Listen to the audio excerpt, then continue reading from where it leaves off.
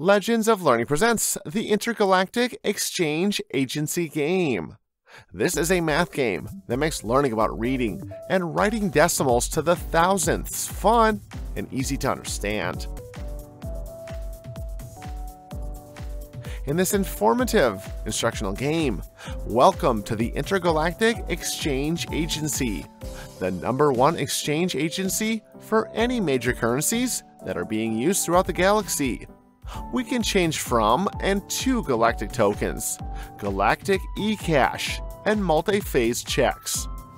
While you are doing the exchange, you can learn more about the forms of decimals to the thousandths in decimal form, expanded form, or word form.